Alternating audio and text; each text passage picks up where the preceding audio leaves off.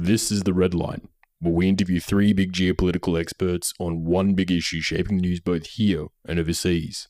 And I'm your host, Michael Hilliard. A few years ago, I was wasting time at an airport in Istanbul, waiting on a flight that had already been delayed.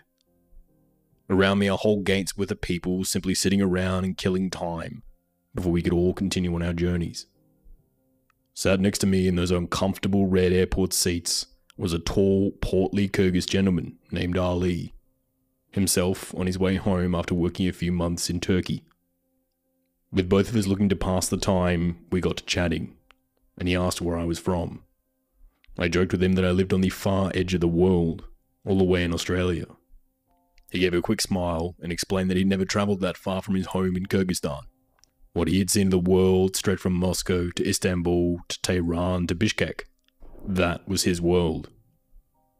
Even myself not having seen every corner of the globe, gained a new perspective on where the edges of my known world are. And just like that, my world got smaller. Still not in any hurry, the conversation continued on, and we began to speculate on where other people's edges of the world might be. We speculated that for a Soviet citizen, their world would stretch from the flat heartlands of East Germany to the Pamir Mountains bordering China. For an Indian citizen, it would extend from the southern jungle tip of Kerala to the snow capped Himalayas in the north. And for a Chinese citizen, their world would run from the entrance of the Yellow River across the plains and deserts to the other side of the Pamir Mountains. With every map we pulled up to help us speculate, though, one country continuously appeared right on the edge of these known worlds Tajikistan, the mountainous, unforgiving frontier of a country a combination of deserts and snow capped peaks, with a government that in many ways has sealed it off from the rest of the world. And even though it sits in the center of the Eurasian landmass, it always seems to be somehow on the edge of every map that we looked at. It's the western edge of a map of China, the northern edge of a US map of Afghanistan, the southern edge of a map of Central Asia, and the northeastern edge of an Iranian historical map. Tajikistan is the very definition of the old unknown borderlands. So, what did Tajikistan hold on to? Why did every civilization in the region sprawl outwards from their capitals, but seem to stop in the foothills of the Tajik homeland? Well, to answer those questions, we turn to our first guest. Part 1 The Edge of Nowhere. Well, Tajikistan has the misfortune of being in a very difficult neighborhood right there above Afghanistan, with which it shares a very long border, and it has had its own relatively recent history of conflict. Had a very bitter and bloody civil war in the 1990s, um, and the legacy of that has been um, extreme poverty um, and uh, extreme kind of hardship for uh, that population. That notwithstanding, it is a much safer country than Afghanistan. It's a much more stable uh, country than Afghanistan that's partly itself the result of uh, a very different type of governance it's had there. Peter Leonard is the Central Asia editor for the amazing news organization EurasiaNet. Peter is one of the most respected journalists around when it comes to Central Asia and has reported for many years all over the Soviet bloc. We are very happy to have him back on the program today. Tajikistan is a very rural country, and despite the Soviet modernization project, it remained a very rural country pretty much until the end of the whole Soviet experiment. Uh, uh, around two thirds of the population lived in the countryside, even in, in 1991 when the Soviet Union collapsed. Um, industry uh, was pretty underdeveloped, not entirely um, accidentally, perhaps. Uh, there are four, uh, five uh, republics in Central Asia and the Soviet Union. And the way that the Soviet Union organized the um, industry and uh, the production of electricity and agricultural production in Central Asia was that they were all sort of codependent on one another. The cynical reading would be that it was done to sort of create kind of a, a sort of a weakness, kind of an, interdependency. Uh, a more benevolent interpretation is that this was simply the most logical way to arrange the countries. As a result, in this sort of setup, um, Tajikistan uh, is the host of a very large hydroelectric uh, plant, uh, which was built uh, back in the Soviet days, which fed electricity to other parts of the Soviet Union. Um, and then there were other kind of areas of, of uh, the economy on which it was very heavily dependent. So we're thinking uh, cotton um, and then cultivation of uh, certain other uh, uh, edible um, uh, foodstuffs. Um, but, but, what you get out of that is a, quite a sort of um, a monolithic kind of economy that sort of hinges on on a very few um, important areas of production and assets. There is always this worry today of terrorism leaching out of Tajikistan into the wider Central Asian region. Was this also a concern during the Soviet era? No, not really. Uh, the I'd say the Islamic reawakening um, probably happened fairly late into the Soviet period. Obviously, the Soviet authorities were deeply hostile to religion across the board, not just uh, Islam. So um, religion was very underdeveloped for a long time, and but never really entirely stamped out. So yes, Tajikistan preserved its Islamic identity, but very much sort of below the surface. That begins to change towards the end of the Soviet period as the Soviet Union begins to open up as part of its whole Glasnost um, uh, initiative. Um, and so you can talk about change in the 80s, but really the role of religion only becomes pronounced, I would say, in the post independence period in the 1990s. Tajikistan used to export huge amounts of rugs, apricots, cotton, and uranium, and they were also the major supplier of aluminium for the entire Soviet Union. From what I understand, though, a lot of these industries have taken a major dive since the collapse of the Soviet Union. So, what happened? Well, the aluminium plant is still very important um, in the kind of economic makeup of the country, in that it's really the only major uh, domestically owned industrial asset that Tajikistan has. Aside from that, uh, there's a lot of mining uh, that goes on, so a lot of gold and silver mining, uh, but that's uh, kind of a, its whole issue in that a lot of those mines are increasingly being taken over by Chinese mining companies and it's debatable as to um, how much benefit they bring to the economy in the aggregate. Um, a lot of gold is produced, and, and, Tajikistan has relatively good gold reserves, but uh, you know, in terms of job production and uh, value added from that mining industry uh, for the domestic economy, um, the role is probably relatively small. And then finally, yes, agriculture is important. Um, but in the overall picture, it represents a far smaller sort of slice of the economy than it probably could or should. In very broad terms, we look at a map of the country, it kind of looks like a very crude drawing of a side view rabbit standing up on all fours, with big ears that jut up into the air. And if we stick with our rabbit analogy, the capital Dushanbe would be based right about where the rabbit's heart would be. The country can be roughly divided into about three zones the ears and the head of the rabbit being the northern zone, which contains the majority of the population and the capital, Dushanbe. The ears of the rabbit being the corridor between the Tajik heartland around Dushanbe into the tumultuous Fergana Valley, shared between Tajikistan, Uzbekistan, and Kyrgyzstan. The front legs of the rabbit will be the southern zones, bordering Afghanistan, where a lot of the problems are today. And the back half of the rabbit would be the hard to reach, isolated Badakhshan National Park, bordering China and populated by the Pamirs.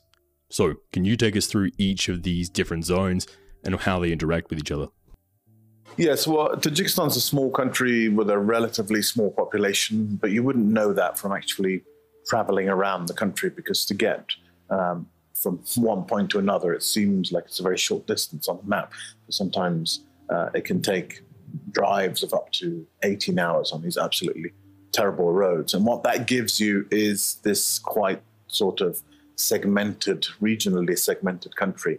Um, and uh, as you say, um, you can sort of very broadly uh, divide it up into this uh, northern section, which is divided from uh, the center of Tajikistan, which is where the capital city is, and uh, those two areas are divided by one range of mountains, and then off to the east, the very sparsely populated Pamirs, um, again, are their own thing in as much as uh, the people who live there, the population is very sparse indeed.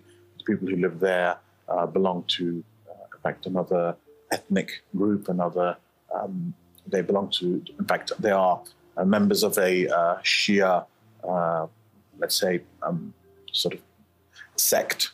That's how it's described. Typically Ismailis, whereas most Tajiks are Sunni Muslims. Um, so that, just to put it in geographical terms, essentially sort of sets out why these kind of regional um, sort of formations, why traditionally uh, Tajikistan is quite a kind of a, a regional country. The Pamiri areas, or the back half of the rabbit, are incredibly sparsely populated, with only a single major road connecting the two halves of the country. Was this a symptom of Soviet centralization in their planning, or simply just a result of the country being so mountainous and difficult to traverse when making up highways? It is extremely hard to get out there. It's very high. Uh, nothing much grows there. Um, uh, there's one uh, relatively mid-sized city called Khorog, uh, but then the second largest urban settlement, if you can even call it that, Murgab, even a little bit further to the east, uh, not far from China, is so high that you, you can't even grow anything more than very basic crops. So uh, these are not um, areas that are um, forgiving for um, uh, sort of people to live in. So uh, primarily the reason that, that there there are not more kind of larger larger centers is because of that. At the same time, um, the Pamirs uh, did back the losing side in the civil war of the 1990s. Um, and that I think has not helped their cause uh, overall. As I was saying earlier, um, the, the, roads that lead to the Pamirs um, are absolutely abysmal, and so you really need a kind of a experienced driver and a four by four to even get to this part of the country, which territorially accounts for half of the country. I mean, it's not nothing. Um, and I think that this neglect, in my view, is probably not accidental. I, I think uh, there is um, there are reasons to suspect that the government simply sees it as a low priority, one, because it is indeed quite sparse, uh, but secondly, because historically this is not considered a very uh, loyal population. The situation in the East is not the only major consequence of the Tajik civil war. Many of the remnants and leftovers from that war still affect the country to this day. So, can you briefly take us through the Tajik civil war? So, the roots of the war, I think you can probably identify in the pre um, Soviet collapse. Um, what you start to get there, as I was alluding to earlier, is um, the emergence of new kind of social currents. There are more nationalist sentiments being expressed. And you see this across all of the Soviet Union. People start to kind of assert their national identity in much more um, obvious ways. And this was always anathema in the Soviet Union because although the Soviet Union created these kind of top down, created these, these, um, you know, national units like Uzbeks and Tajiks and Kyrgyz and so on. Um, at the same time, they sort of strongly discouraged nationalism as such. But you see that sort of starting to um, emerge in the uh, late 1980s. And so, in the kind of chaos of the uh, uh, Soviet collapse, these things really come to fore. Um, but then in Tajikistan, this is all compounded by uh, a couple of other strands. Um, the collapse of the economy is particularly intense, and the, when the economy collapses, what you get, of course, is you know the resources uh, shrink, and uh, you know the elites who are kind of jostling for for power anyway in this uh, post-independence chaos um, you know, are suddenly finding themselves fighting for a, a far smaller share of the spoils. Um, add to that Islam as again, which is which is kind of an, an emerging sort of pole around which um, uh, Tajiks are certain Tajiks are beginning to identify, and then finally add on to that layer, yes, the the the regional aspect is is also um, is also an element. It isn't that necessarily different regions uh, hate each other and therefore they go to war. It doesn't quite work like that. I would say it's the other way around in that when conflict begins, people tend to align along these kind of regional uh, fronts. So, what, what the actual um, beginning of conflict per se um, begins in Dushanbe. Um, and this is often how civil wars, you know, they end, they start in these very sort of um, um, depressingly kind of uh, paltry ways. There are protests in the center of Dushanbe. These different camps come out they're kind of asserting their claims to you know how Tajikistan should be. I mean, to put it in the, in the crudest possible way. Um, and so they're literally 100 meters from each other, and you know these protests kind of go on for a certain amount of time. But then, with time, any protest kind of attracts to it. Um, uh, you know, unsalubrious, violent elements, and with time, these two sort of uh, street kind of um, uh, uh, manifestations, you know, start to kind of go into conflict with one another. And out of that, you know, through a whole series of, of vicissitudes and events, um, you know, this much broader conflict emerges. And uh, this carries on for a number of years and, uh, you know, brings in, uh, among other things, um, you know, external parties. There are neighboring countries like Uzbekistan, which is obviously extremely alarmed by what's happening and it's, it's also um, sort of contributing its own uh, covertly contributing its own its own kind of role into this uh, conflict. So what you what you get uh, at the end of this war, in which uh, ultimately the prevailing side are the sort of the the, the, the successors of the the communist rule of the communist elite, um, is uh, on one side uh, a coalition of uh, the kind of the northern clans who were typically the kind of where the, the main Soviet cadres were drawn from in, uh, in, in, this kind of uneasy alliance with the southern clans um, uh, south of the capital, Dushanbe, which is kind of where the more kind of um, criminalized, kind of tough fighting force uh, came from. And they came out on top the war wasn't a clean victory for the winning side that eventually prevailed. This uh, coalition between the, the old northern communist elite and their uh, southern allies. Um, the reason that the conflict was ultimately brought to an end was that um, uh, there was considerable external pressure from uh, security brokers like uh, Russia, mainly, uh, but also to a lesser extent Iran, the United States international organization. And, and, and, this culminated in a general peace accord in 1997, um, the, the headline of which essentially was that uh, 30% of government posts had to be uh, set aside for representatives of the opposition.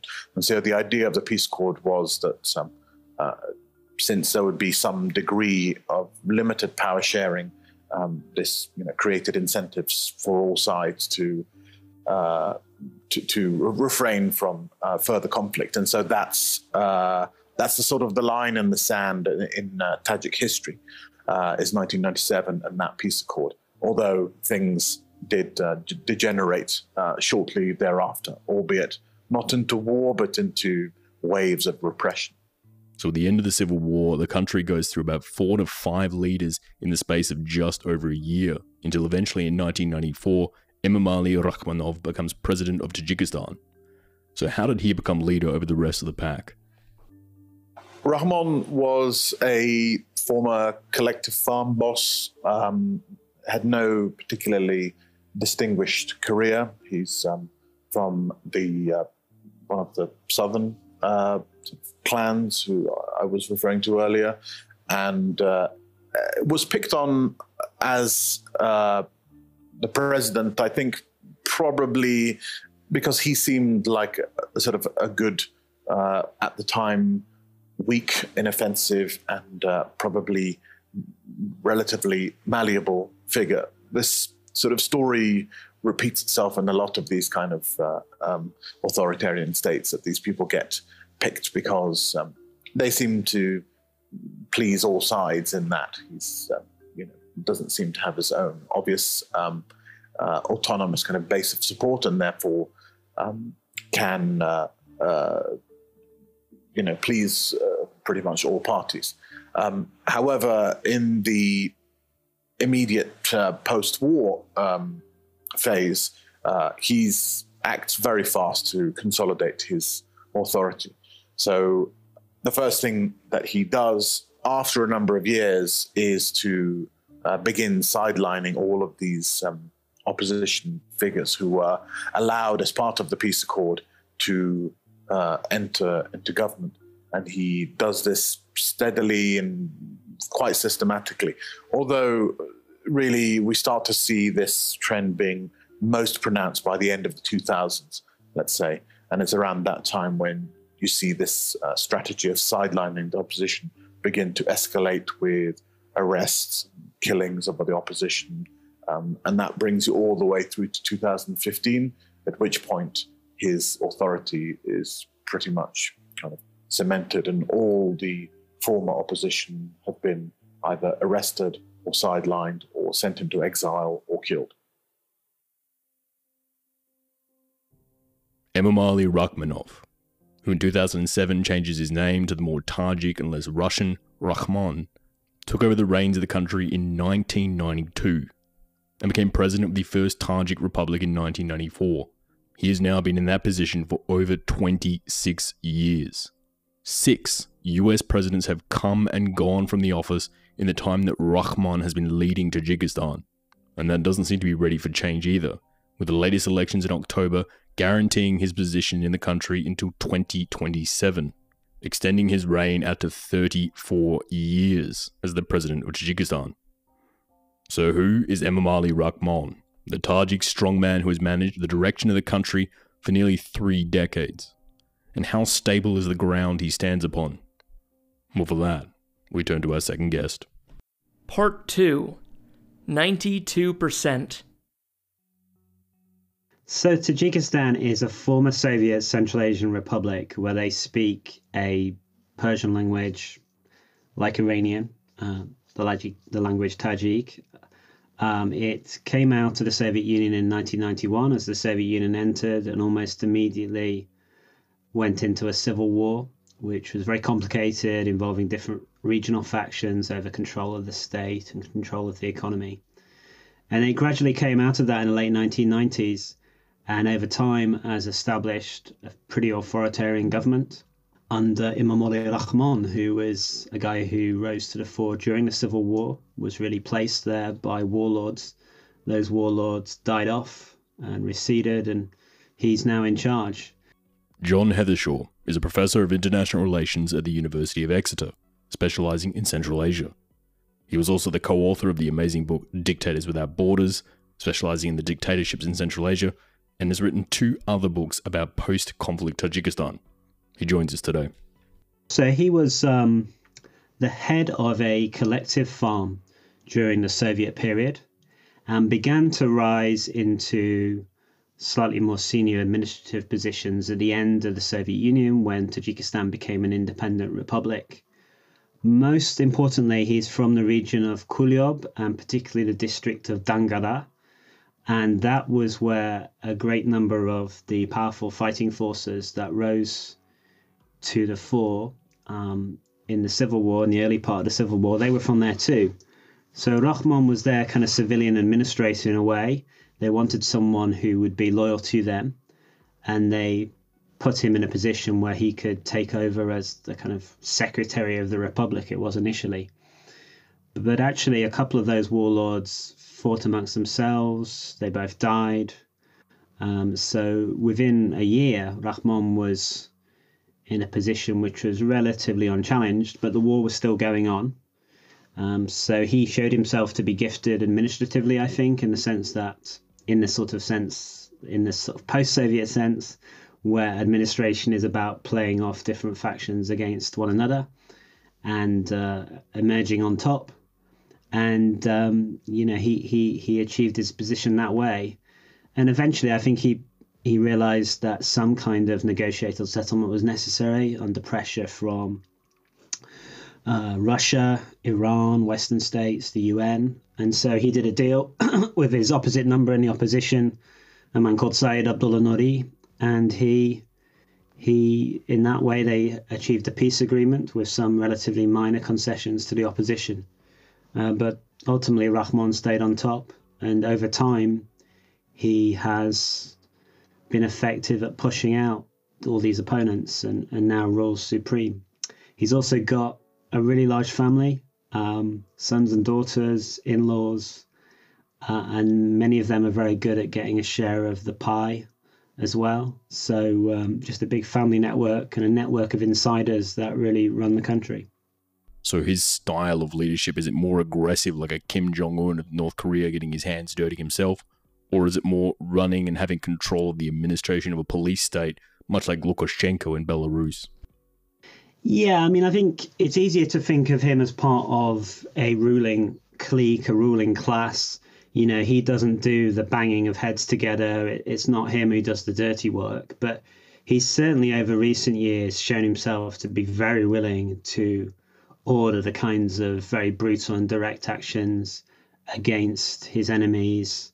And also, obviously, during the later stages of the Civil War, we don't know as much about that period, but there was a lot going on of that kind. So, you know, there's a lot of violence in Tajik politics, and he's never been directly implicated in that, but he has people who do it for him. And I think we'd be naive to think that, you know, he wasn't in some way uh, commanding and ordering some of that violence to take place. And I'm talking about things like uh, torturing peaceful oppositionists who have been detained and also probable assassination attempts against opposition figures overseas.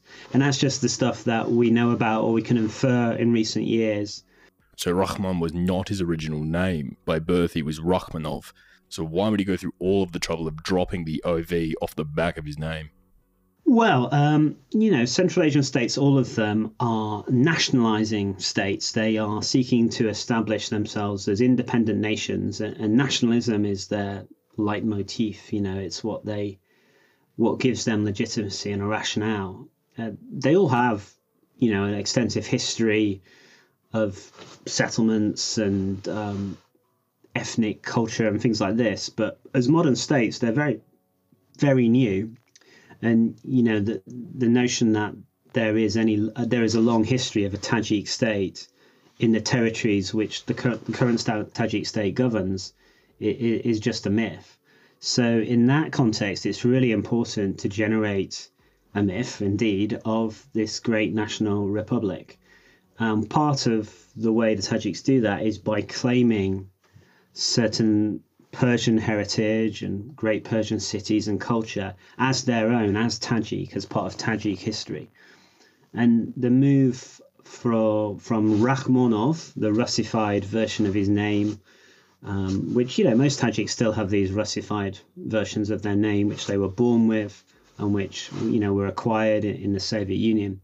He moved away from that in, I think it's 2006, 2007, to Rahman, which is a kind of Persian version of his name. Some other members of the elite followed suit, but not all.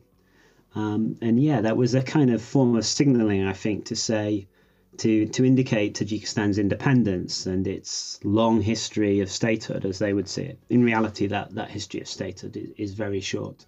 So Tajikistan on paper is a democracy, and Rahman wins these elections by frankly huge numbers 98% in 1999, 79% in 2006, 83% in 2013, and now most recently, he won 92% of the vote in October. How is he pulling these sorts of numbers? Is he genuinely popular, or is there some electioneering going on behind the scenes here? Yeah, I think it's a combination of things. Um, I think the first thing to bear in mind is that there's only really been one properly competitive election in Tajikistan, and that was the presidential elections in 1991, which are remembered in Tajikistan as precipitating the civil war. So, where you have genuine competition over political power, the result there is always bad news from a certain perspective.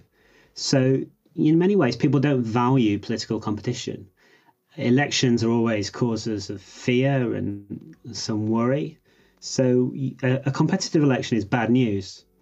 In that sense, how do you bring about a non-competitive election? Well, you do things like you prevent serious opposition figures from taking part, not necessarily because they would be super popular, because most of them don't really have much in the way of national profile, but they would say things which disrupted the kind of stability that the government wants to convey.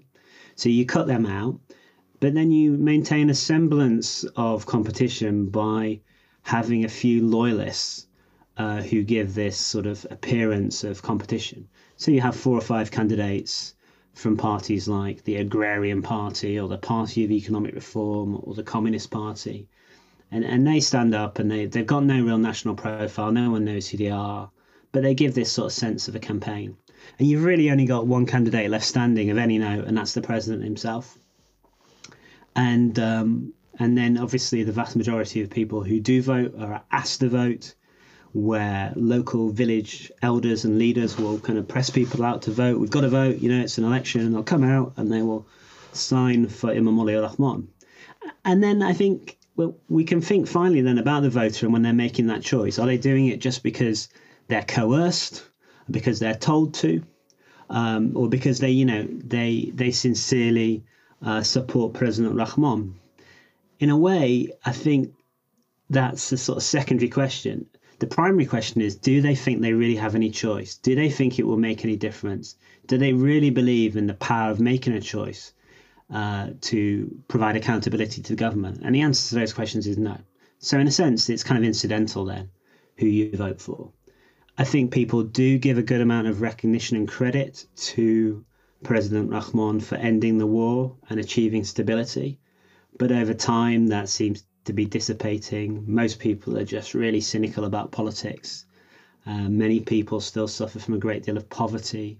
The only way that they can really subsist. The only reason they can make ends meet is because some members of their family are migrating to Russia or other places and then sending money home. So they know this government hasn't brought them prosperity, and they also know the stability is pretty tenuous. So it's a vote, I guess, out of fear, out of a lack of a sense of choice, and because there really is no alternative. Rahmon is often regarded as one of the richest men in Central Asia, yet the official salary of the president of Tajikistan is a pretty measly 13,000 US dollars a year.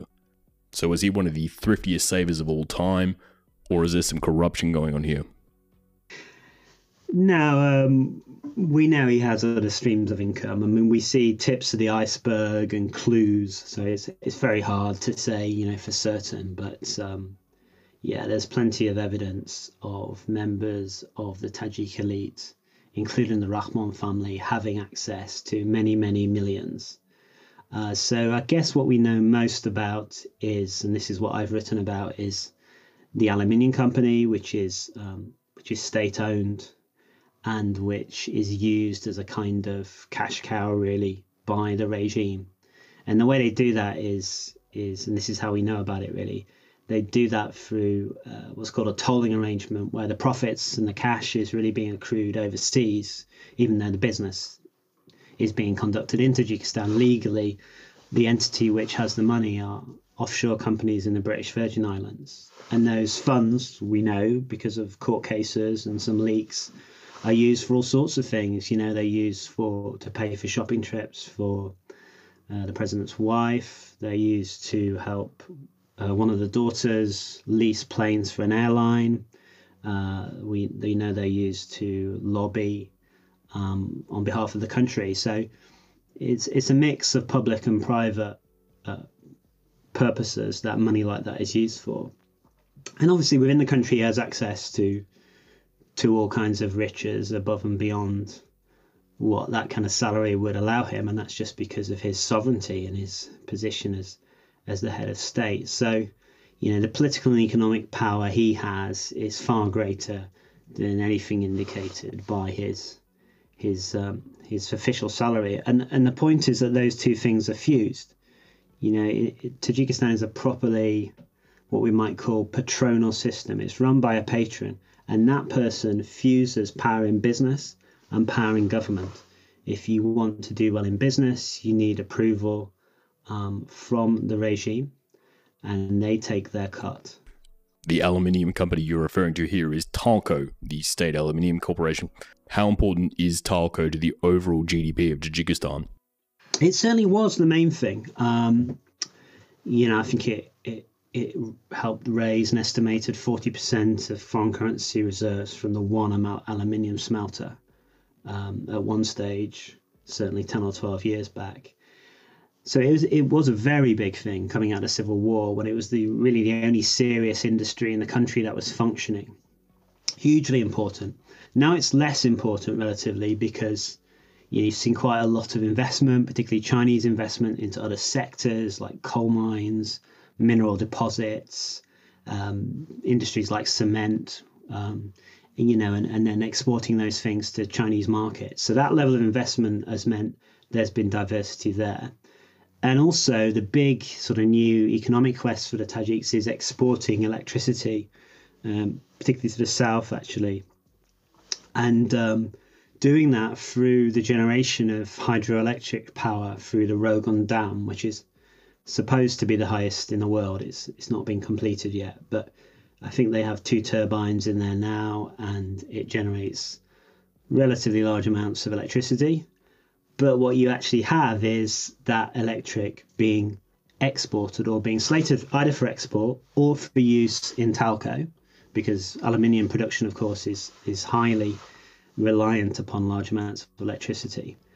Whilst you still have, and I know this is true this week in Tajikistan, very long electricity outages for domestic consumers. So, you know, you're entering winter, it's starting, starting to get really cold and yet you may only get electricity for 10, 12 hours a day. Um, and, you know, you, you, you get long outages. So Rahmon is starting to get up there age wise. And before the 2020 election, he managed to get changes through the constitution that would allow his eldest son, the current mayor of Dushanbe, to run for president. It was widely speculated he was going to hand over the reins to his son before the 2020 elections, but instead he chose to run himself and he won the election. Why do you think Rahmon changed his mind and didn't hand over to his son? Well, it's it's a it's a question which invites lots of speculation, really, because we you know the the thing you you need to know about most is the thing that's hardest to get information on, which is the kind of palace politics. Um, so, you know, why isn't the son rising? Yeah, absolutely. It was set up the possibility of doing that.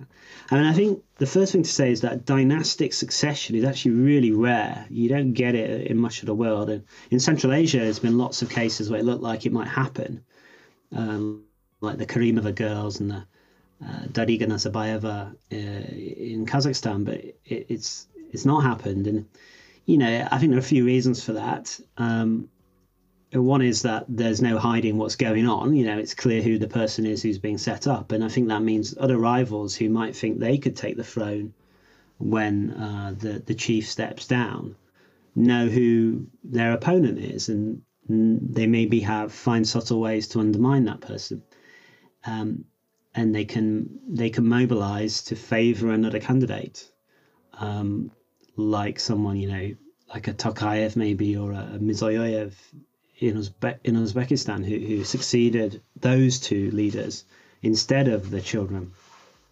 So you could have some of that in Tajikistan. I think it's pretty hard to say who that would be at the moment. Um, most of the prominent figures are family members, children, and in laws. But I think there's a particular issue here with, with Rustam Ali, where the son, the older son, where he is known to be impetuous, uh, he has a temper. He's known for some very dodgy incidences with women, for driving his car recklessly in the city. Um, and perhaps he's just someone who doesn't have the capacity of his father for leadership and, and decision making. And obviously, you know, this is a very high stakes thing. If the wrong person comes in, if that person steps in with brutality, um, then things could go very, very badly wrong. Any, I guess it's possible that Rahmon's thinking about that himself. You know, is this a chalice that he really wants to pass on to to the son? Maybe better let let him, you know, keep a, a second order role, protect his wealth, but not be the person who is the target of all others and the person who's ultimately responsible.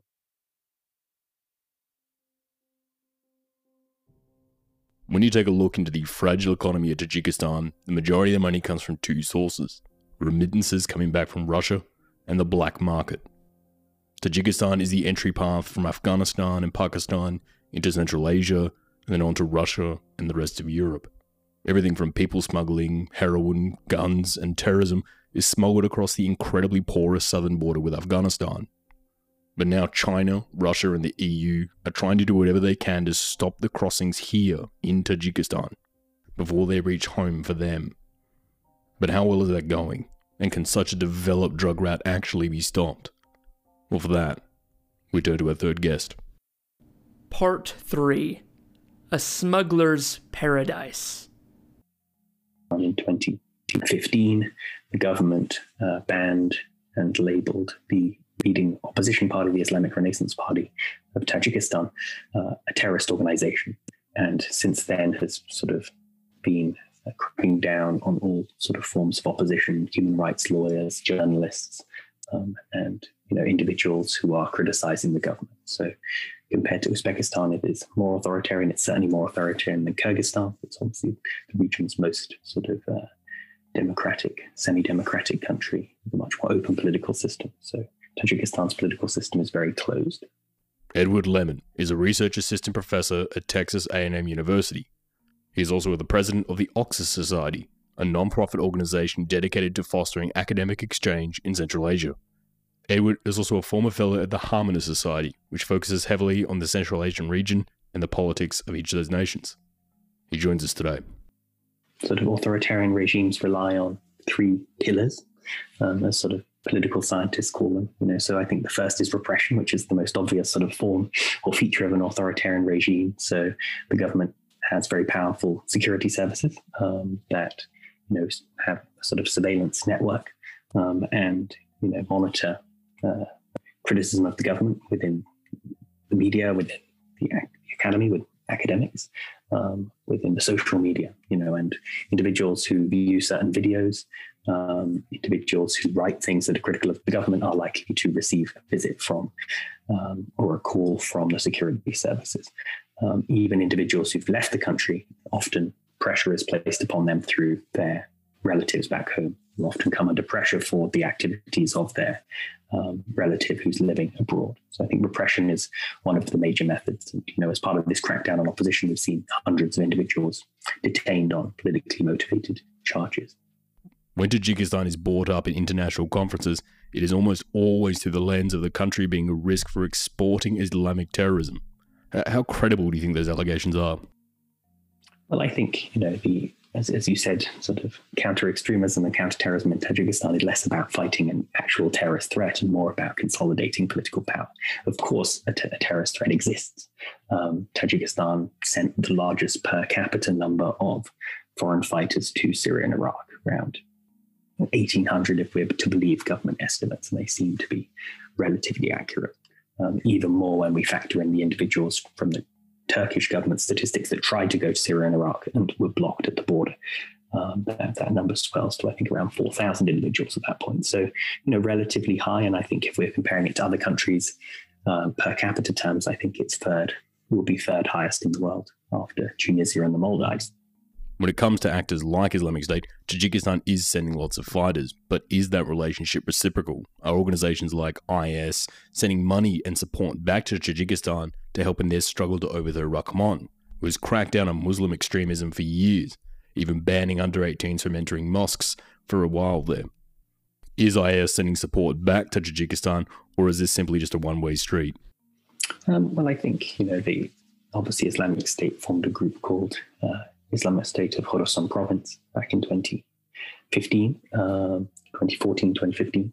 Um, and that's a group that's based out of Afghanistan and has a more sort of, you know, Central Asian focus and sort of stated its desire, unlike the Taliban, to move north of the river into post-Soviet Central Asia from Afghanistan. Um, but obviously has had limited success. I mean, I think you know this, this, sort of move by the Islamic State to encourage its supporters to lead attacks wherever they are you know, which has been their policy since 2015, 2016, um, has, you know, led to certain attacks like the one that we saw in 2018 in, uh, in Tajikistan. These were individuals who were seemingly mobilized in Russia through someone who'd um, spent time in Syria, um, recruited there, and then returned to Tajikistan just weeks before leading the attack. So they were sort of sent there um, recruited by Islamic State and sort of encouraged to go back to Tajikistan to lead an attack. A lot of the funding for these organizations comes from the illegal smuggling routes coming out of Afghanistan. What sort of items are being smuggled across the border here? You know, there's a number of things crossing that border. Um, drugs is the most significant. I think the UNODC estimates that are now a decade old, and unfortunately there are, there are no more recent figures, as far as I'm aware, you know, estimate that you know the about 30% of the economy uh, comes from from the drug trade, um, something like 100 tons of heroin, um, opium transiting through the country each year, mostly uh, destined for the Russian market. Um, so that's a very significant part of the economy. Um, most of it's crossing uh, via formal borders.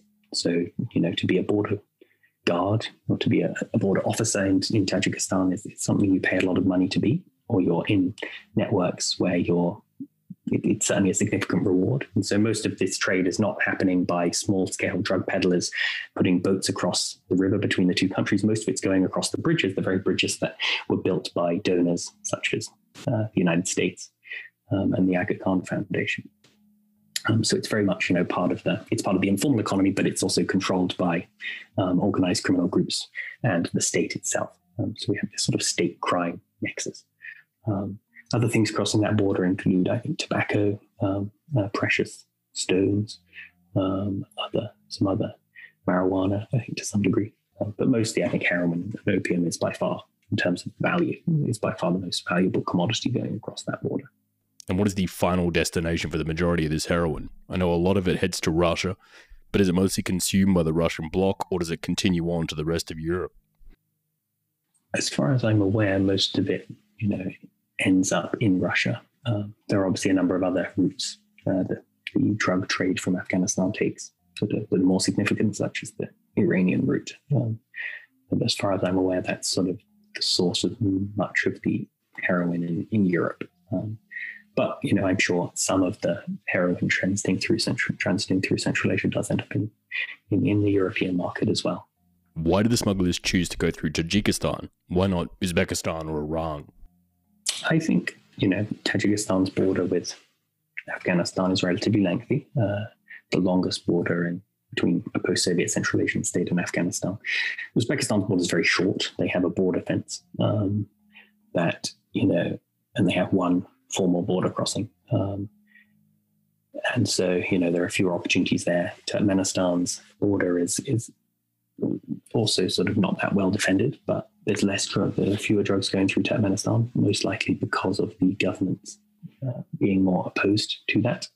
Um, whereas in Tajikistan, you know, I think there's been this um, ongoing trade that emerged out of the sort of out of the um, out of the civil war. So I think, you know, I think the, the Tajikistan's border is is the easiest logistically um, to send drugs through with regards to Central Asia. China, Russia, and the EU have all put large amounts of money and men into trying to help patrol that border to stop the drugs coming in. But have any of these attempts actually been successful? When we look at the official seizures, you know, um, we haven't seen, we've seen them sort of fluctuate. And Tajikistan, with donor help, set up a drug control agency just over, over a decade ago now. And that was really tasked with you know, uh, fighting fighting the drug trade, obviously. And you know, they would obviously capture a symbolic number of drugs, um, a couple of tons each year. But you know, what we're we haven't seen sort of a rapid increase um, in the number of drugs being seized. We're still seeing somewhere in the two to three percent, maybe four percent of drugs being uh, seized each year. So you know, for me, that's sort of just symbolic. It's deferring and, and sort of sim- signaling to the donors that they're doing something. But obviously, the vast majority of the drugs are still flowing through. You know, as you say, the EU has put millions, hundreds of millions of dollars into this problem through a program called BOMCA. Russia, Russian border patrols used to patrol the border till 2004. They still have border advisors, very large military facility uh, in the country, the largest military base, Russian military base outside of Syria. Um, and China, as you say, has recently established its own um, overseas military facility in the country and from the reports sort of is participating in joint border patrols and has been renovating border posts. Um, so certainly there are a lot of actors involved, um, a lot of actors, external actors who have an interest in stabilizing Afghanistan and making sure that unrest doesn't spill over the border. But none of them have been able to curb the drug trade. Um, you know, in the case of the Russian border guards, when they were posted there because they were also on the take, I think can say, um, and from the others because you know there's so many incentives for the Tajik government and state to um, maintain the drug trade, given it's such a source of income for them. So I think there's really a there's there's a lack of will on the Tajik government side, we can say, and a lack of capacity on the side of uh, external donors in particular to, you know, completely curb this trade. A number of prominent Russian experts often state a worry that if Tajikistan were to destabilize and break down into chaos, that that would likely echo throughout the region. Uh, do you think that's true, that a destabilized Tajikistan would cause problems for its Central Asian neighbors? My view has been that it's very difficult to make predictions. Um, but thus far, I think the great sort of surprise of the region um, has been how remarkably stable the entire region has been. I'm skeptical um, as to whether it can see a mass destabilization. You know, the population is just so resilient right there, now putting up with the coronavirus, COVID pandemic which is having a you know a very negative effect on the economy, leading to you know remittances falling by one third. Remittances from labour migrants make up something like a third of the economy. Um, so we're going to see you know a lot of what we are seeing a lot of economic problems in the country's issue with food security, um, dwindling household revenues, and you know what we're not seeing is any sort of sense of unrest or, or sense of resistance to the government. It's still you know remaining relatively stable. So my view is that the population remains very resilient. Many people will put up with the system as it is, even knowing that it could be better, but knowing ultimately it could be a lot worse with the sort of memories of the Civil War. If any of these nations want any hope of fighting the drug trade or containing the problems coming out of Afghanistan, these countries need to become very invested in the future of Tajikistan. These nations' doctrines rely on the theory that they would rather fight the drug war in the south of Tajikistan than fight it on the streets of Moscow or Beijing. China, in particular, cannot afford the instability in the western provinces, the ones that share borders with the wild frontiers of Tajikistan. Beijing already has many bases and facilities in Tajikistan, but unlike its bases in Myanmar or Djibouti, China is unwilling to publicly claim them. But why? What is China trying to achieve in this rugged mountain land? We'll find that out, we turn to our final guest. Part 4 Old Lifelines, New Masters. Right, so I would describe Tajikistan as one of the most vibrant and fair democracy. No, I'm just kidding. It's one of the worst mafia state um, remaining in the world whose entire economy depends basically on facilitating drug trade and drug flows from Afghanistan, um, whose job it has been for the ruling um, elite to systematically clamp down and um, surgically destroy any germs of opposition or free thinking or um, democracy or anything positive you can imagine coming there from uh, for the past 27 years since um, Rahmon has been in power. So it's uh, you know it's a system that is um, that is holding itself together really well. Mathieu Boulegue is a research fellow for the Russia and Eurasia program at Chatham House, as well as an analyst for the Center for Analysis of Foreign Policy in Paris. Mathieu is an expert in post Soviet and Eurasian defense and security and he joins us today. It's also a very fragmented and divided country because since the, since the end of the Civil War, um, and now the end of this power sharing agreement that took place after the end of the Civil War, um, the country has been increasingly fragmented in terms not only of geography because of the different um, constituent parts of Tajikistan, but also in terms of access for people uh, economic insecurity and health insecurity has been growing consistently, and COVID, uh, the COVID pandemic, has also shown the limits of this system in terms of access to healthcare, in terms of access to um, e- economic uh, subsidies for the population. And there is still a large inequality of access uh, for, for, most of the population. And finally, it is a very divided country when it comes to its own borders, with a lot of violence, a lot of insurgency, and a lot of issues concerning uh, border management, drug trade, water issues, and stability across the borders, but also with external balances like Russia, China, and the United States and the European Union, uh, among other powers. So overall, um, yeah, a, a, very pleasant country to be a tourist uh, in, but definitely not to live in at the moment, especially if you're on the wrong side of the equation. One of the rockiest relationships in Central Asia is that between Tajikistan and Uzbekistan. Why is there such animosity and distrust between these two nations? So as I um, as I explained, it's mostly linked to you know all of the above in the sense that there is still a lot of um, a lot of insecurity across the border concerning the drug trade, concerning insurgent elements, and the fact that most of the insurgency, uh, well, most a, a, part of the in, insurgency uh, come stemming from Uzbekistan in the in the, uh, in the late 90s, notably the IMU, um, moved to Tajikistan after '98 when they were kicked out of the country, and when it became too uh, too complicated to operate for them in Uzbekistan, they moved to Tajikistan and uh, found refuge in these sort of insurgent valleys uh, south of the Fergana Valley in uh, in Tajikistan, um, in in Rasht and Tavildara, for instance so that it fed political resentment from Tajikistan. That insecurity in the country was indeed coming from Uzbekistan. So it sort of soured political relations, um, and also because there's there's been a competition, for instance, when the um, when the coalition, the um, the, the U.S.-led international coalition. Uh, to Afghanistan moved into Central Asia, and for the first time, in a way, uh, since the the 90s uh, took sort of notice of the region as a whole, there was competition for access to U.S. money um, and international donor assistance between these countries. And Tajikistan and Uzbekistan were trying to sort of wow international donors and actors into um, into the country or to trick them inside. Uh, which led to further resentment between both countries. What I would argue is that there is definitely um, a very tense and complicated bilateral uh, relationship between um, between Tashkent and Dushanbe. The problem is that these issues are amplified because nobody really wants to sit down and discuss the, the key issues, which is, as you mentioned, it's uh, water issues in Central Asia, because Tajikistan is an upstream country and controls a lot of the water going and flowing downwards towards Uzbekistan, for instance. Um, and a lot of the water is controlled directly through two main rivers, the Pyanj and the Vakh.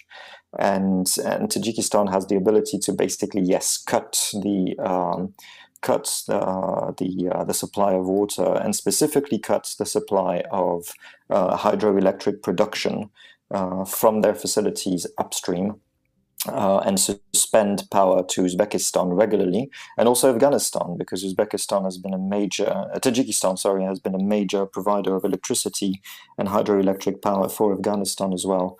Um, and they are playing it almost as a political hand, if you will. So beyond good neighborly management with Uzbekistan and Afghanistan, they are definitely using it for, for power politics and political uh, political purposes. And if you add uh, more, you know, uh, grievance to injury, and with these cultural spats and these cultural um, resentment between um, the, the, Silk Road capital cities and who belongs to whom, then you're, you're, you're feeding in this sense of, um, of, of bad relations between both countries. So when uh, the new president of uh, Uzbekistan, uh, Mirziyoyev, came to power, uh, a few years ago, uh, there was an attempt to try to pacify relations with uh, with Tajikistan and Kyrgyzstan. For uh, f- as a whole, it did manage to improve bilateral relations uh, after 2016 with Kyrgyzstan, and he moved in to try to uh, to, to, discuss border delineation and and, and to address border issues with Kyrgyzstan. He did the same with Tajikistan, but the sort of mistrust remains uh, not least because the, the, the, power in place in Tajikistan has been so hardened around describing Uzbeks and, and, and the leadership in Uzbekistan as potential enemies and unfriendly people that it's really hard to build this trust from the Mirziyoyev government after he, um, he moved into power in 2016. And also because this, this sort of open um, open moment for Mirziyoyev with his opening to the world and to Central Asia in particular only lasted a few months, if not a year, and then he moved back to business as usual in a sense of consolidating his own power and um, basically, yes, coming back to the rules of the game instead of trying to become a more uh, inclusive and open and diverse country that we expected from the Mirziyoyev presidency. So overall, this this is adding sort of a brick uh, wall of mistrust and discomfort when dealing with bilateral relations between Uzbekistan and Tajikistan. With Tajikistan being a Sunni Muslim majority nation, what is their relationship like with the Gulf states of Saudi Arabia and the UAE?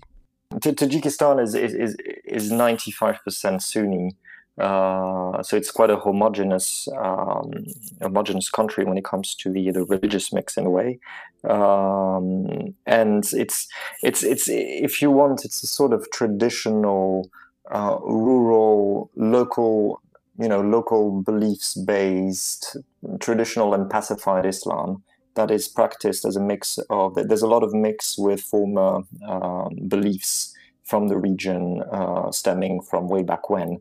Um, so it's it's you know a mix of Zoroastrianism, fire cults, for instance, or specific uh, cults in the Pamir Mountains that, that were blended together uh, with Islam, that that form a sort of you know local local Islam that is that is uh, more like a practice for every day than something they can brandish as a potential flag for nationalism or something like this. So Saudi Arabia or countries from the Gulf would find probably less grasp and less things to, to grip uh, in terms of financing uh, places of cult than in other countries of the region.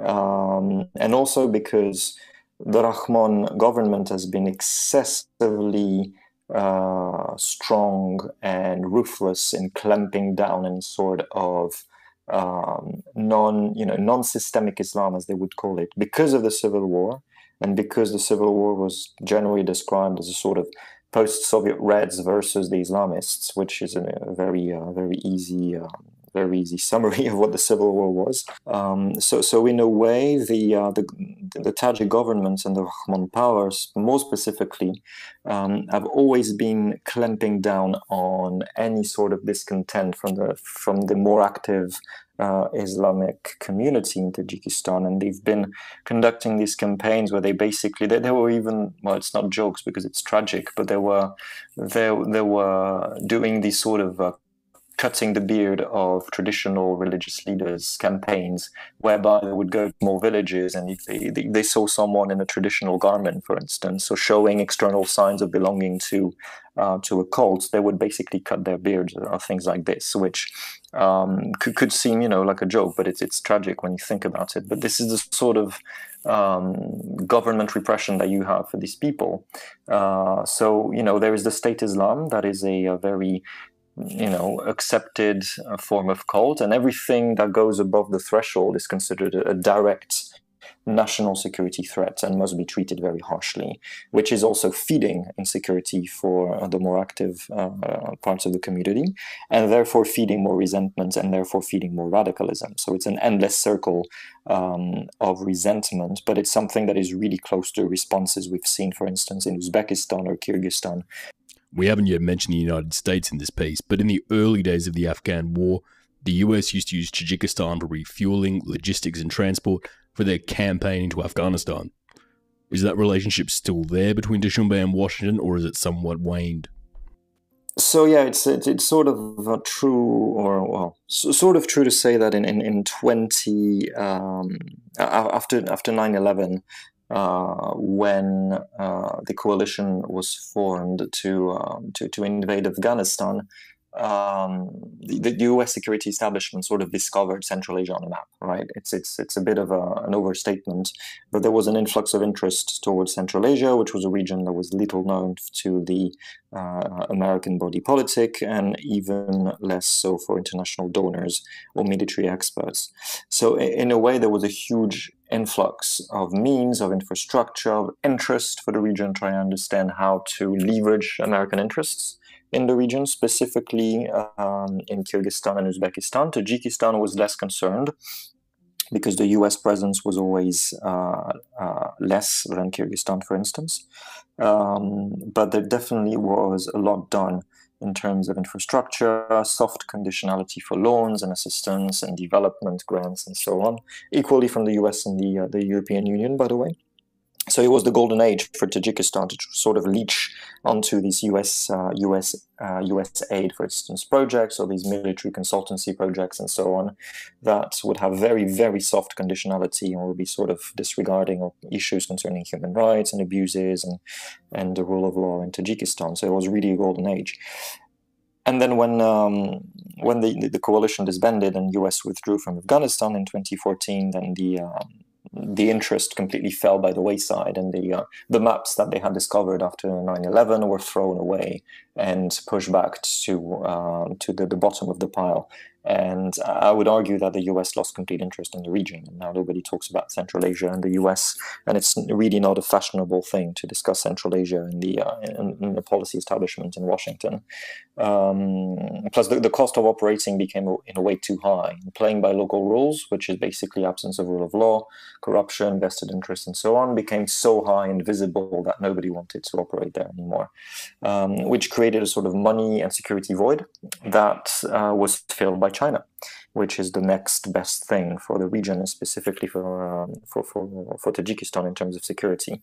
Um, all of the above is equally true for the European Union. There, there was a massive um, um interest uh, after 9/11, with once again soft conditionality, uh, a lot of discussions around um, sort of loans for uh, better governance in, in, in the region, uh, more specifically in Uzbekistan and Kyrgyzstan. Tajikistan was less concerned because they um, they started from uh, from lower in the food chain in a way.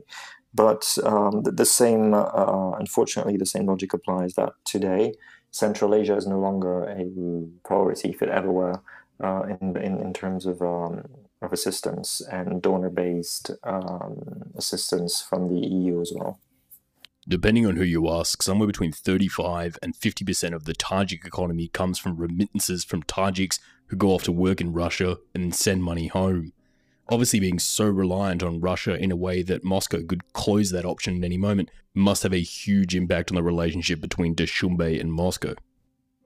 So yeah, that's the uh, that, that, that's one of the main issues for the, for for Russia, and I think it's a good place to start describing this relationship today. Is that Russia is no longer the sole guarantor of security and the sole balance provider for, for, for Central Asia in general and for Tajikistan in particular um, at the moment uh, because Russia is losing ground and losing way in terms of heritage, in terms of post Soviet sort of decolonization to the region, and is losing ground specifically to China these days.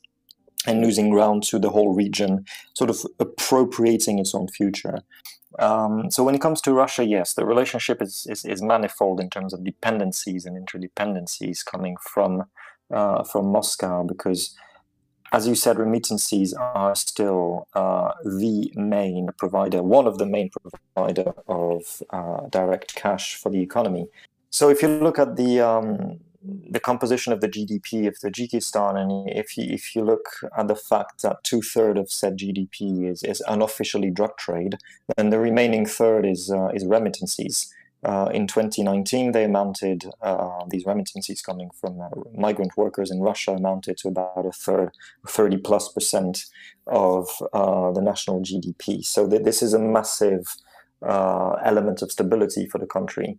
It'll be more uh, unstable in 2020 because remittances have already decreased a lot, uh, at least by 15% for the first half of 2020 because of COVID and because of border closures in the region and because there is just less work for migrant workers in Russia because of the, the COVID pandemic, uh, which will be once again yet another problem to deal with in terms of economic stability uh, for the country in terms of debt management, in terms of uh, failing banking system, and the, the somoni, the, the currency being uh, regularly devalued, um, which could expect the country to go into GDP contraction in 2020 and, and increased prices for commodities and uh, goods of uh, first necessity for, for, for people. So this this is really not helping with overall stabilization.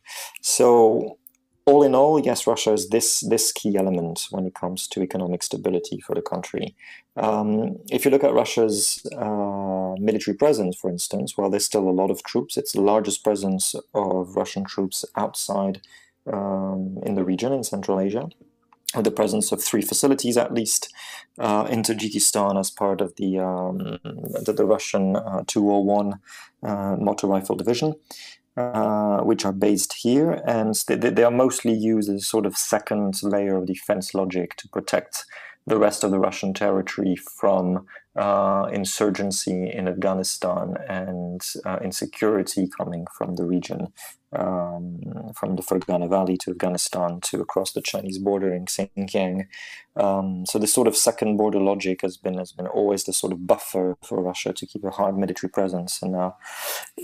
In, uh, in Tajikistan and also to keep tabs and potentially facilitate parts of the drug trade, which is not excluded because you know there's uh, there's no such thing as uh, corrupt money when it comes to these things. Well, the other huge regional player here is obviously China, who has a large military presence and major investments in Tajikistan. So, what is the relationship like between Dushanbe and Beijing at the moment? So it's it's also a very complicated relationship. It's it's not as rosy as as one could um, could describe in the sense that um, yes, China in a way is, is is filling the voids and the vacuum that Russia and the United States have left open um, after 2014 for the US, and because of the Russian retrenchment from the region in general, and the fact that they don't really own the, uh, Central Asia's destiny anymore, and they can't really keep it as a sort of congruent region that would be described. You know, the Central Asian republics is no longer a term that fits everybody because there's no one model there anymore. It's not the 90s anymore. And specifically to Tajikistan, which is something that we could have foreseen, but in a way was a grey rhino all along, is the increased presence of military and security and defense um, in the defense uh, sector of Tajikistan. Um, this started in the mid 2010s, and somewhere around 2016 or 2015, when the first agreements were signed between Tajikistan and China for the construction of uh, several. So they call, don't really call them bases because that would be the step too far for Russia to accept. But China calls them these sort of border outposts or military outposts that are in charge of uh, controlling the border between uh, China, uh, sorry, between Tajikistan and Afghanistan specifically, um, and uh, different checkpoints along the Panj River. Uh, to monitor uh, to monitor the region. So five outposts across such a long distance is senseless in a way, but it is highly symbolic because it shows that Russia is losing ground to China in terms of direct military presence. So back in the back in the 90s, in a way, and after the end of the Soviet Union, there was a sort of implicit burden sharing agreement, right, between Russia and China. As one would argue, would have argued, Russia kept things in the military and defense sphere in, in Central Asia, and China did the rest, which is basically economic stabilization and uh, governance, you name it, to try to keep things under control and keep things separated in terms of division of labor. Well, now it seems that this division of labor is dying slowly because China is increasing its footprints in the uh, in the military sector, in Tajikistan more specifically. They're also trying to push for more things in Uzbekistan and uh, a lot in Kyrgyzstan as well. But Tajikistan is sort of the uh, the, the tip of this uh, this complicated spear or iceberg of a relationship. Um, they've been doing a lot of um, joint drills in the Pamir Mountains, for instance, for border control in the region. They've been doing some training for Tajik forces when it comes to uh, border management or drug uh, drug control and policing and, and, and you name it. And there's been some assistance as well in uh, revamping the uh, military hardware for Tajikistan. So th- th- this is a step that for now is creating a lot of discomfort in Russia, as you can imagine, because of the burden sharing logic once again. It's sort of a, a knife in the back uh, that China is slowly planting. But it's also something that Russia can't really push back against because the more they you know, call China's bluff that yes, you are encroaching upon my, you know, my uh, my, my, my areas of sovereignty, the more China will, will, will increase its presence because they, they know that Russia can't do much about Chinese inroads because the power differential, especially in the economic, financial, infrastructure field, is so massive that Russia can't compete. So if, if a country like, like Tajikistan decides to sort of externally balance uh, towards China, then there's not so much Russia can do. And, and, and, Beijing has very much understood this logic, that the level and amount of, push, of pushback from, from, from Russia is very limited. And something so, you know, so obvious as opening these border outposts, which are basically military bases, uh, was something that five years ago, 10 years ago, would have been completely unthinkable in the region. So the more China makes inroads in the sector, the more the more it shows you the Russian retrenchment from the region as well, which is really interesting. Um, and also because China has, has, has, locked the country into a sort of debt trap as well. The uh, Tajikistan owes about one billion dollars of debt, uh, mostly in infrastructure and economic sector uh, reform for Tajikistan. So this this is also keeping the country, you know, on on its toes and also because they've been ceding a lot of land apparently since the early 2010s, uh, and especially mining rights for uh, mining concessions to Chinese companies to sort of try to repay the loans and repay the debt. So it's sort of debt against participating share inside companies. So slowly but surely, they are trying to locking the country into submission, and there's only very little that Russia can do to to do a better counteroffer um, which is leaving Tajikistan in a very complicated situation these days. Is there something Tajikistan could do to escape this slow moving car crash, or are these problems simply just baked into the cake at this point? The problem with this country, a bit like Turkmenistan, is that they can still afford to, to, to live in a vacuum. Um, despite the economic hardships and uh, you know with remittances for instance despite the very very complicated management of the economic structure and the failing economic system the, the, leadership can still um, work in a vacuum, keep the, uh, the sort of balance of power alive internally and externally, at least for the coming decade, and keep the population trapped in a sort of mental hostage situation with very little prospect for, for improvement of their life and their lifestyles. So, as long as, and there is also no solid ground for a political opposition or a color revolution or a Tajik spring or something that would spark uh, an upheaval, political upheaval in the region. So, in a way, as long as Rahmon is in power, um, nothing will probably change, at least, you know, unless he dies in power, but transition is arranged to his son or his family. Um, it will depend on how it, you know, how, how well it goes down with the population. But in a way, they can, they can still project a bit more uh, than the rest of the region, like Kyrgyzstan, for instance, which is trapped in political hardships, or, or Kazakhstan, which is still trying to come to grasp with the power change recently. So, the, you know, there's not a lot that can be done to improve the situation in this country because there is, there is no solid ground for any sort of opposition or alternative thinking that, that would alter people's minds or change people's calculations concerning their, their own power. Uh, it, it, might be necessary because they are not living in a in, in a friendly country, but this is unfortunately what they have now. If I were to send someone to experience the edge of the world, I would send them to Tajikistan, where the government control does not extend far past the main highways and traditional values and practices from centuries ago still have their place in society today. Tajikistan is so uniquely isolated, being in the center of many major empires, but not being consistently marched through like Poland or Moldova. Being so mountainous and isolated meant that for most enemies, it was far easier to use diplomacy than force. So the Tajik culture developed on its own. But whilst being so isolated on a map, Tajikistan unfortunately functions at the mercy of many larger regional giants. The Tajik economy is so desperately dependent on Russian remittances and the Russian demand for illegal products like heroin. For the good of the country, you know they have to get rid of these. But in this region of the world, ways to secure much needed foreign currency are few and far between. So they continue with it and try to suck as much money from it as they possibly can in the time when it's possible. China, at first, much like the story we've told many times before in the Central Asian region, seemed that they could be the new regional lifeline. The country to invest in Tajikistan and put them back on track. But these deals came with strings attached, and now Dushanbe has become reliant on the steady influx of money from Beijing.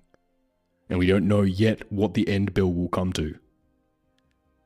And even as the situation seems to continue to deteriorate, There isn't much the average citizen can even do about it. Rahmon has been in power for over 26 years, and the only other option they have on the table seems to be his hothead son.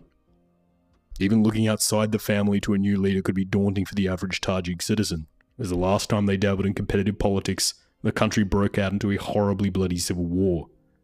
So an attitude has begun to sweep the nation of maybe it's better to stick with the devil they know.